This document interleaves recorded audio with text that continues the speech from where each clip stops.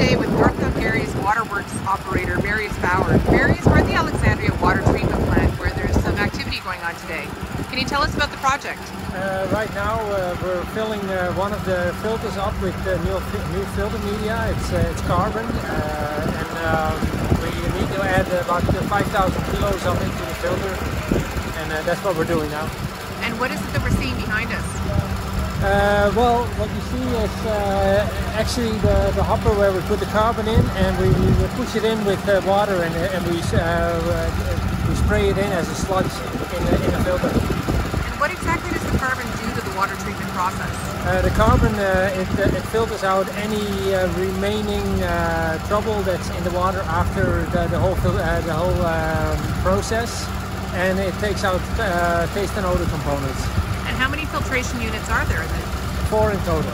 Four in total. Yeah. And how many have been completed so far? Uh, two, and we're now finishing off number three, and then there's one more left to do.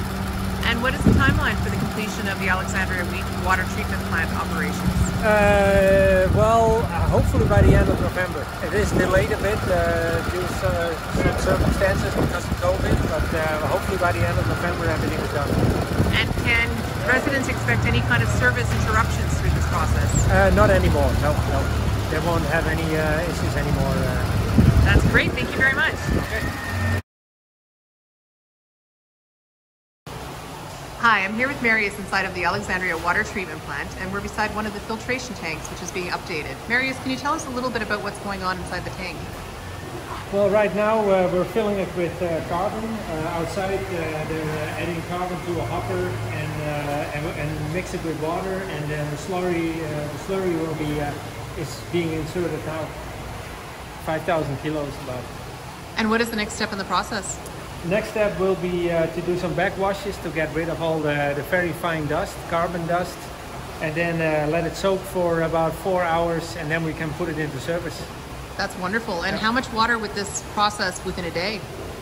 Uh, well, it depends on, on uh, the water demand, but it, uh, right now uh, each filter does about 500 cubic meters, so 500,000 liters.